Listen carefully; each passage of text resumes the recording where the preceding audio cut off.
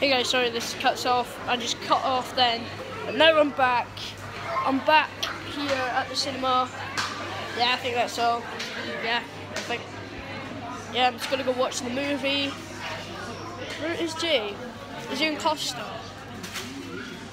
No, I don't. He's not in Costa. Yeah, we don't know where he is. Anyway, so we're gonna end the vlog here, and yeah, let's go. Let's go. So, see you guys next time. Bye.